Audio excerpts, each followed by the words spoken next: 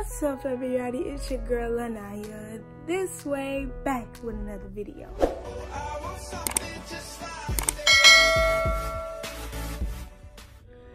So, I will be doing a YouTube video of sophomore tips. So I'm gonna give you guys some tips on sophomore year because I'm a junior now and I'm done with my sophomore year and my freshman year. I'm just gonna give you guys some tips on sophomore year. And I want you guys to just delightly like, comment, and subscribe. I mean, my other videos are linked in the bio. My social medias are linked in the bio. And you guys just go at me. I mean, like, I'm really like gorgeous. So, do you guys want me to do a summer hula? Uh, because I've been wearing a lot of, you know, awesome clothes this summer and I just want you guys to see that. So, you know what? Let me just stop talking because I'm gonna be talking all day and I'm gonna keep talking and I'm gonna shut up into this video because let's go, let's go. So, let's just, number one, a first tip I will give you guys is mm, stay positive when you go to school. Don't be negative. Don't wake up negative. If you wake up negative, what a tip that I will give you is to meditate and like breathe in the car, in a bus, train, whatever you're taking your, you know, traveling to school. Just think positive, you know, think about the good times. Don't think about no bad times because it's gonna make you really horrible. Okay, so breathe because it helps me a lot. I breathe. Sometimes I do go to school angry, but that's only because I can't help myself in being angry over something that's so big. So I kind of still be angry when I get to school. But I suggest you do that because it helped me a lot sometimes. Tip two, I will give you guys to, hmm, be organized. I mean, you want to have your book bag organized, your locker organized, and your life just all organized. If you don't like being organized, I mean, yeah, your life ain't perfect, but you know, it can still be perfect when you have some things organized. So stay organized by organizing your book bag with your binders or folders. I do, what I do is I I basically organize my room. My room is like so organized. My closet is very organized. My shoes are organized. My clothes are organized.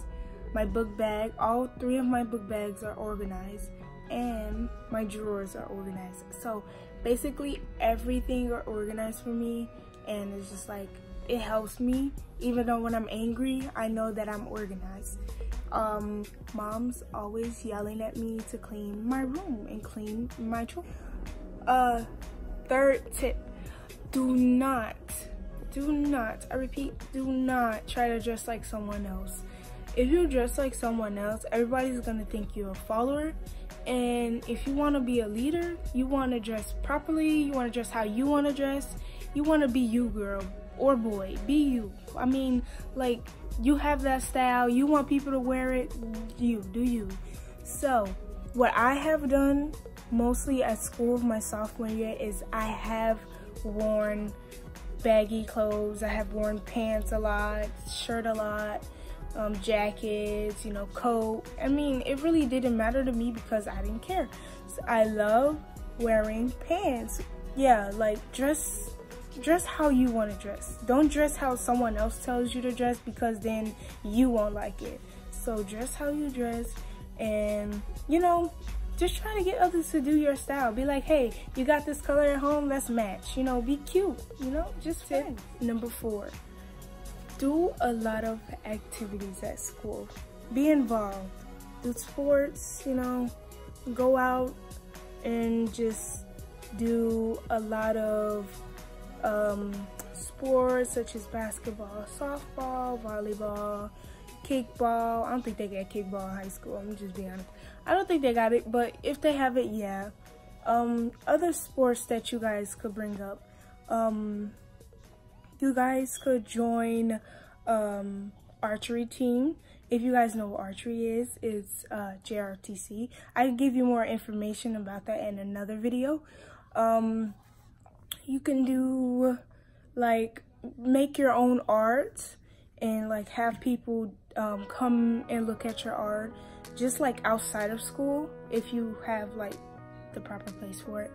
And you can do designs bracelets necklace you know activities. Do something in something that you'll remember for sophomore year. See me i didn't do anything sophomore year because i had too many family issues and i worked so it was like i didn't really have time to do activities or play sports so i was just like you know i'm just gonna do all this and just have fun with just friends. Tip number five, don't have a lot of friends. You want to have like a minimum of friends so that way you can be focused, you can uh, have better energy, you can have positive energy, you can have a brighter future. I'm not saying having a lot of friends could, you know, bring you down a lot, which for me, I had a lot of friends back in elementary school and I was this close to not graduating eighth grade, but I cut off all my friends, finished my work, graduated eighth grade, and then got to high school and noticed what I did in middle school and was like, you know what, I'm not gonna have that many friends. Some of my friends that I had freshman year left me. Some of my friends that I, uh, new friends that I got, uh, sophomore year, we're still talking. And, you know, I really like them. They're really cool. All good friends. And so that, and then just like, don't have too many friends because you don't want to, you don't want to ruin your moment or anything with life or family because then family get the saying like, oh, she has so many friends. I can't really trust her going out because she's gonna do this with a boy or she's gonna he's gonna do this with a boy with a girl and it's like so much stuff. So you don't want your parents thinking like that because I'm pretty sure mine does. She thinks so much that every time I go out it's gonna be something. So sometimes I stay at home, sometimes I go out. Only weekends I go out, but never weekdays because weekdays are worse to go out. So yeah. Okay, I just want to let you guys know. Thanks for watching. Don't forget to hit the like button, comment down below, hit that bell, why don't you? Subscribe to my channel and just, you know, tell me like, am I doing this right or am I doing this wrong? So, I'm gonna see you guys in my next video and don't forget, I love you guys so much. Be you don't let no one judge you. Don't let nobody treat you wrong. Just breathe and be the happy boy and girl that you want to be. And good night.